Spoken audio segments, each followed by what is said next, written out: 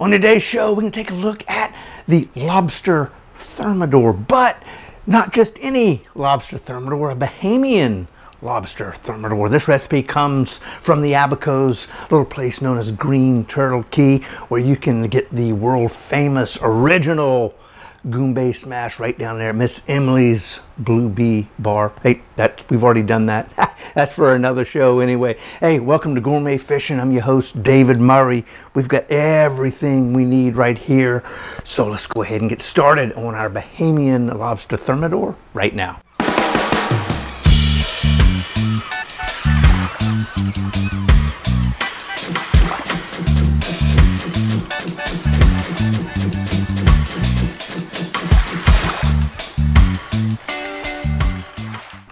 Go ahead and get started on our Bahamian lobster thermidor. We've got everything we need right here. We've got kind of a, a double process that's going to happen. We're going to actually create um, our white sauce after we get all of these little goodies right here, kind of sort of fried up, sauteed up, not fried up, sauteed up. So first thing we're going to do is we're going to take some butter. We're going to add it to the pan over here. Then we've got some shallots. We've got uh, one shallot kind of nice and chopped up. We've got uh, about 10, uh, we've got about eight uh, mushrooms. I've got those all nice and sliced up. And we've got some uh, little bundle of fresh thyme right there. We got about two green onions, white and the green part. Kind of cut those up, sliced them up. We got probably, I don't know, maybe a, a quarter cup of um, chopped up parsley. We've got a lemon, and we've got some, we got two lobster tails that have been cooked, and we've got those diced up. That's part one. Part two. Uh, oh, oh. Also, we got some. Um, yeah, I forgot about some brandy. Now, the the Bahamian, the Green Turtle Cay recipe calls for white wine. I wanted to use brandy, so ha, that's what we're gonna do. Anyway, so the white sauce, we're gonna come in here with some more butter. Uh, we can create a roux with some flour. Then we got some parsley, some salt, a little bit of cayenne pepper. We've got some chicken broth, and again, we're gonna be using a little bit of our lemon juice and we'll also be throwing some brandy in there too. So I tell you what, let's see here. We're going to go ahead, get started. Hope this isn't too hot. Nope, nope, nope, nope. Boom, just like that. I'm going to put this right up here. That right there will be our white sauce beginning along with this. I ain't gonna worry about it. Oh, also we got some hot sauce that's gonna kind of sprinkle in there and give that white sauce a little, little extra bite uh, along with the cayenne pepper. So here we go. We got our uh, our cast iron skillet warmed up. Now I'm going to come in. We're going to add our um, our shallot just like so. Grab myself a spoon and we're going to begin sauteing. We're going to saute the shallots for uh, you know probably a couple of minutes first. Then we're to come on and we'll be adding our mushrooms. Heck yeah. All right, I tell you what, that's looking pretty good. I'm gonna come in, we're gonna add our mushrooms just like that. And we're gonna get those nice and cooked down just the way mushrooms need to be. Heck yeah. And that will take us probably another two to three minutes and then we'll be able to continue on with the recipe. Right, I tell you what, those are looking pretty daggone good. It's been, I think, a total of about three to four minutes cooking right here. So I'm going to come in with uh, our green onions, just like so. Voila. Ah, another, another nice level of, of goodness going in. Heck yeah. And we're going to keep, uh, we're just going to keep sauteing as we go, probably another minute or two there. And then we'll kind of sort of get rolling and getting closer and closer till it's time for the lobster. I'm to tell you what, that is looking good. Got a nice little aroma to it. Now we're to kick that up just a tad. We got some brandy here. Uh, like I said, the the, uh, the Bahamian recipe calls for white wine. I just like, I just kind of like more the, the brandy than I do the white wine. So, and be careful if you've got an open flame that that you're cooking over like a gas uh, a gas stove. You want to you want to take that off that flame before you add this. Now we're going to come in here just like this and add about a quarter cup. And you may be asking, why do I need to be careful about my gas stove? Because of that right there. the alcohol we've got in there. So, you know, that's gonna, that's gonna, where's my spoon? That'll burn off here in a second and we'll be left with just the good flavors of that brandy. So there you go. Little pyrotechnics going on. All right, heck yeah. Whoop, there we go. Yes, sir. See, that's that's why you got to be careful if you're definitely cooking with gas. You need to be careful of that right there. And I'm going to come in here and we're going to add our parsley and I'm going to come in here and bruise up our thyme. I'm going to add that in and we're going to stir everything together and get all those flavors to kind of sort of meld together. All right, I tell you what. Oh man, that smells good. I'm going to come in here right now and I'm going to add some of our lemon zest to this. I'm going to use probably a half of the uh, the lemon zest and the lemon juice to add a nice little uh, acidic, delicious flavor to it. So we're going to come in here just like so. Yep, boom, add that in there. And okay, again, not prepared. Grab a knife real quick Make that cut right there. And we will save that and use it in a minute. And we'll come in right here. And we will add the juice just like that. Bingo. So, we've got all of that in there just like so. Oh man. Oh, that smells awesome right there. Now I'm going to come in. Uh, yep, I will. I will. I'm going to come in right now. We're going to add our cooked lobster just like so. Oh man, yum, yum. Now, those were two small little three ounce uh, lobsters. Um, so, you know, you may want to use four. I don't know. Anyway, hey, it's still going to be good.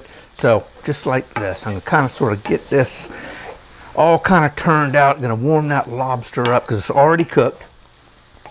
And what we're going to do about right now is I'm going to get a, a, my towel instead of burning myself and I'm going to transfer that just to another another pan or a plate or anything like that. Voila. Just like so. And voila. We're going to do that I'm to put this back on the heat, warm it up just a little bit more. Now with this, I'm going to come over here and we're going to let that rest right there. It's going to sit right there because we actually we're almost almost done with this. And then we're going to come back in, add our other two tablespoons of butter like so. Turn that up a tad. We'll get it nice and melted, which will then help uh, help us uh, begin our bechamel sauce, which is our white our white sauce. We also then we're going to come in and add a few more flavors to that to really bring everything together. Now that was a little hard for me to say. it kind of sort of jumped on me, but anyway, here we go. We've got our butter, two tablespoons of butter, two tablespoons of of flour, just like that. And we go. I'm to turn this down we don't want to brown our roux at all. So I'm to turn that way down, just like so. Come on. And we're just to kind of slowly cook this down. And we're actually, I take that back. We're actually going to make a blonde roux, not, no, don't want a dark roux or anything like that. So we are going to slightly add just a little bit of color to that, just like so. And we're to try to cook just a little bit of that um, flour flavor out of our roux, just like so. All right, I'm to come in. We got a cup and a half of chicken broth, and look at that. That that doesn't that does not look good at all. But watch this. We're gonna we're gonna bring this whole thing together, and it's gonna be delicious here in a second. Check this out. Watch it. Here it goes. All right, that came together nicely. It almost looks like we got uh, just a, a, chicken gravy or something like that, or start some type of a, a soup. But anyway, oh yeah, it smells delicious. Now, one thing I forgot to talk about during the uh, ingredient introduction because I didn't have it out for some reason is our dairy, our cream. Now, I said we want to make a bechamel sauce. I'm kind of sort of going backwards with it. Probably should have added the cream and then, you know, then that would have been the bechamel sauce. But anyway, didn't do that. So anyway, we're doing we're doing a a bechamel, a reverse bechamel. How's that? I don't know if there's anything called that, but anywho, here we go. So here comes in our cream, and that's going to give us, oh man, nice, silky smooth sauce. I'm going to turn that down on low and get this all mixed up, and then going to come in here. You know what? Let's see. What am I going to do? You know what? I'm going to add a couple of tablespoons, two to four tablespoons of um, our brandy. Maybe about right there. And if it gets a little a little thick, we'll add add a little bit more of that. And then I'm to come in here with, well, thought I was. Here we go. We're going to add, you know what? Jumping the gun. We got to add our, our zest first, just like so. Man, I am hungry, so that's why I'm kind of getting ahead of myself. So we can just come in and we're going to add a little bit of this, this zest, just like so. Yes. Okay, you know what, that's good enough. Now I'm going to come back in and uh, probably not going to add all of this. Maybe, yeah, we'll do that. That's right there. That's probably about a tablespoon of our lemon juice. Now, whoop, what we don't want to do, I thought I turned that down. I don't want this to over overcook itself and and kind of get uh, what they call a crack sauce. We don't want that. So I tell you what, we're going to do this and bring that. Oh, that's why I love these butcher blocks. I can just pull something hot over here. So, you know, and uh, you know, we, we we have been cooking with some of this cast iron lately, and you do have to worry, not worry, but be careful of of your of your of your pans because they stay hot a lot longer than you know a pan like this over here. So now I'm going to come over and let's see, we're going to add a little bit of parsley. We've got about a teaspoon or so of cayenne pepper and about a teaspoon of um, salt. And then I'm going to come in here and voila, just do that right there. Just a little, a little bit of that great hot sauce. So we come in here and we're going to combine this up. Oh man, I tell you what, that is smelling, yes, smelling delicious. Heck yeah. So I tell you what we're to do. You know, we're to let this, uh, we're to let this simmer probably for another five minutes, kind of thicken everything up. Heck yeah, but I tell you what we are to do is give a little bit of a taste. Oh yeah, that definitely works. Like I said, we're gonna we're gonna let this uh, simmer for probably another five minutes, and then we'll be ready to kind of sort of almost complete our lobster thermidor. Oh man, I tell you what, that is looking great. Yeah, we got. Mm, We've got, mm, man, that's good. We've got, got back of a spoon coated. Our sauce is perfect. It's ready to grab our little batch of yummies over here with, where we got our lobster, our crayfish. We've got um, our thyme, which I'm going to go ahead and make that disappear. We got mushrooms, our shallots, and our green onions. Now it's time to come in. We're going to put this back in to our um, our sauce right here, our, our Thermidor sauce.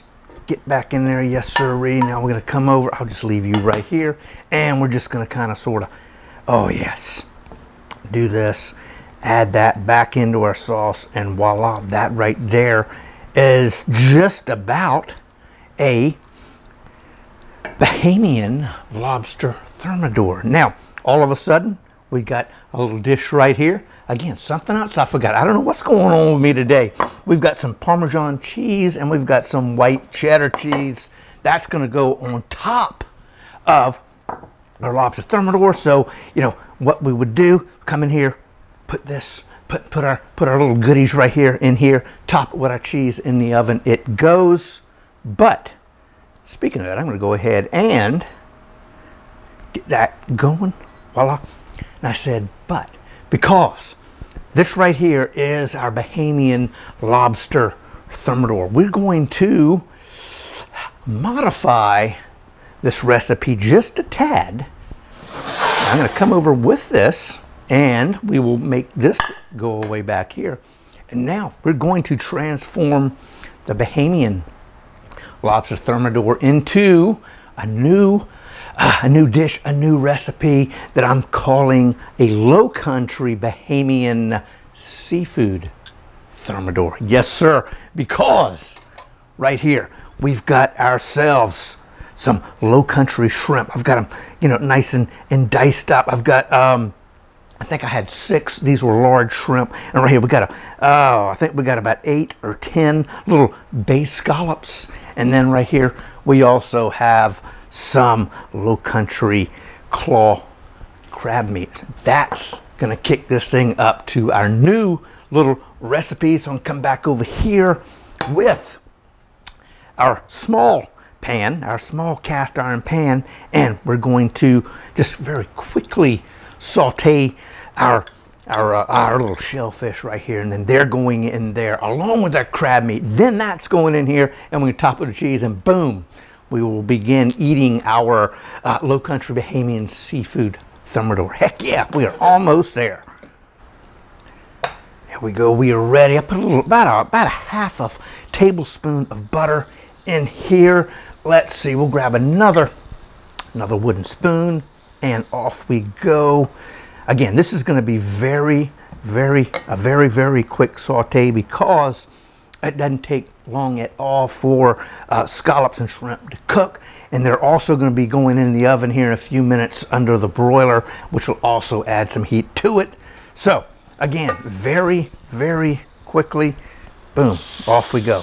Heck yeah, got a nice little air on that. Heck yeah. So in we go just like that. Oh yeah, shrimp are already starting to turn just a tad. Heck yeah. Bump that back up some. And you know what? I'm probably going to go ahead and I'm going to add this, uh, our crab meat to that and actually kind of just heat that up just a tad, just like that. Oh yes, sirree. Hey, while these are doing their little bit of sauteing, I took the rest of that uh, lemon and added that in here. Oh, heck yeah, those are, I tell you what, those are almost done. I'm, like I said, I'm going to go ahead I'm going to add our crab meat in here. Kind of like that, kind of give it just a little bit of a breakup, not a lot, voila. And we're going to just kind of sort of stir that around. And I tell you, I'm going to go ahead and turn the heat off of that right now. And again, all I'm trying to do is just barely get the scallops and the shrimp uh, cooked and just trying to heat up that crab meat. Heck yeah. I tell you what, I think those are, heck yeah. Man, I almost wanted to take a spoonful of that. Heck yeah, our Bahamian lobster thermidor is right there. Now we're gonna come in here, make sure that's not too hot, and voila. How about that? Here comes the low country side of our seafood thermidor, just like so. Put you over there, and we're just gonna come in here, get everything nice and coated, just like this. Oh, wow, check all that out, man. Mushrooms, lobster, uh, scallop, shrimp, crab. I mean, you can't go wrong with that, can you? Heck no. Heck no. So, speaking of that, let's see. Let's go ahead. Bring our little pan over and you know what? I think it's not too hot, but heck, you know me, I'm sure I'd hurt myself somehow. So we're just going to come in here and we're going to add, oh yeah, just a nice little helping right there. And this will be, we can be able to serve at least two, maybe three, heck, maybe even four people. But I tell you what, heck, I'm probably gonna eat that whole thing here in a minute because I hadn't eaten all day. So anyway, that's the good thing about uh, having a little show like this. So now I'm gonna come in, we're gonna add, let's see, I'm gonna come in here first with the white cheddar, just like that, and just kind of sort of top it. Oh man, yum. Voila. Just like that. And I'm gonna come in here with some some Parmesan do the exact same thing like that. I'm gonna add a little bit more. Heck yeah. Made a mess. I tell you what we're going into the oven under under a broiler. And I tell you what that's gonna be probably two or three minutes and it'll be time to eat. Heck yeah. Boom oh man I tell you what that is bubbling and looking pretty daggone good now let's see the last time I took something out of the oven. I kind of sort of kind of sort of burnt myself. So I'm to be a little more extra careful this time. Heck yeah, let me grab this guy right here. Go around. Oh, wow. Yum. Check it out. Heck yeah. Man, that thing is loaded up. I'm to come in here with a little bit of uh, a little bit of color, maybe just like drop a few pieces of parsley on top, kind of give a little bit of personality. Heck yeah, just like so. I don't know, grab this guy. Maybe we'll just do, uh, let's see, something like that. I don't know what the heck. Just like that, voila. Heck yeah. Now that's not the best looking thing in the world, but hey, you know what? Flavor is going to be awesome. Oh man, check that thing out right there. That is our what are we going to call it? I guess we are going to go with the low country Bahamian seafood thermidor, but it all came from the Bahamas. Uh, the, the recipe from Green Turtle Cay, the Bahamian lobster thermidor. Then we did a few little low country twists to it, and boom, there it is. Our low country Bahamian seafood thermidor. Heck yeah, man, check that thing out right there. Heck yeah. Make sure y'all get the recipe. Hey, check out the link in the description down below. Heck yeah. And if you're looking to maybe uh, start cooking with cast iron, I got a little uh, starter pack, I guess you could say, of, of three cast iron pans. Uh, it's a link down to Amazon below. Hey, give it a shot. They're fairly reasonably priced. Not too bad. Hey, right there.